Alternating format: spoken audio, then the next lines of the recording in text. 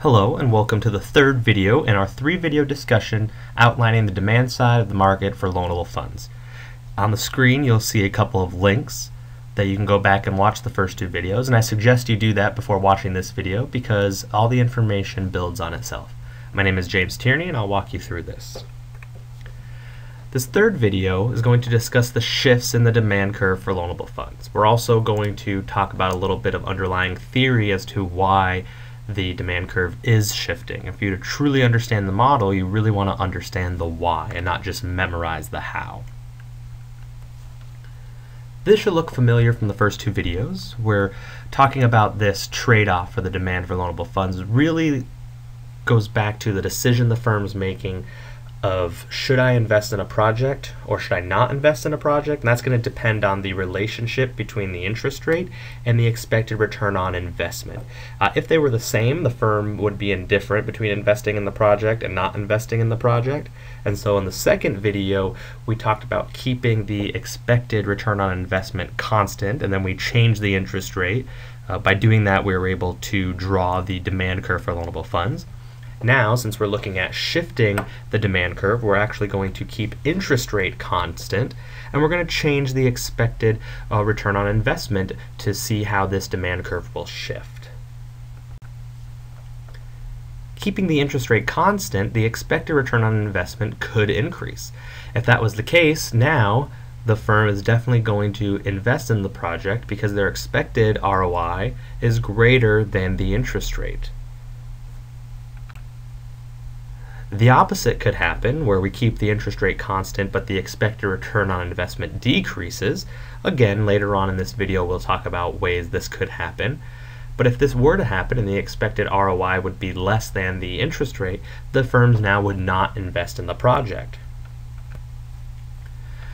So what we saw before was that we had a negative relationship between the interest rate and the quantity of loanable funds in the market.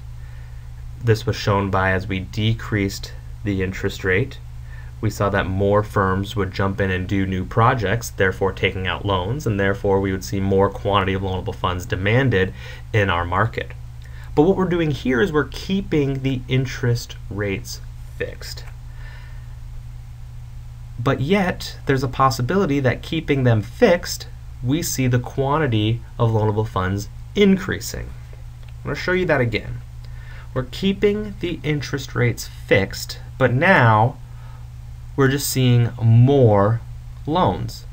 The way that would happen is if for some reason the expected return on investment increased at all levels of the interest rate.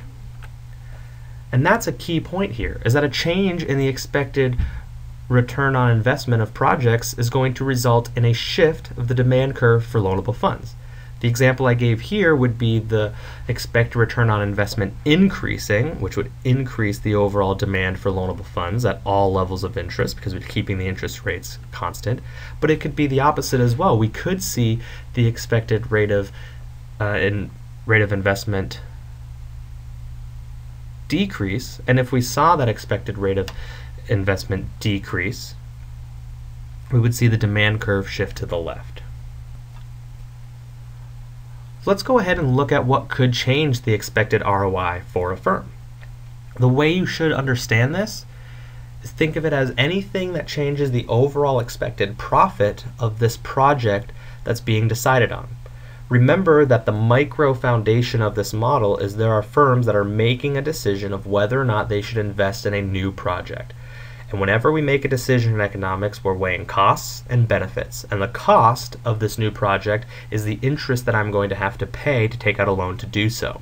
My benefit is going to be the return on investment that I'm going to expect to get from this project. So the easy one to think of is if the government were to come in and just tax or even decrease the taxes on business profits because that's going to directly change the expected profit of this project. For example, if I know that the taxes on business profits are going to go up, that means that the return on investment that I was expecting is going to go down and we'd see a leftward shift of the demand curve for loanable funds. If the productivity of capital or labor ends up changing, that's going to change the overall expected profit of my project.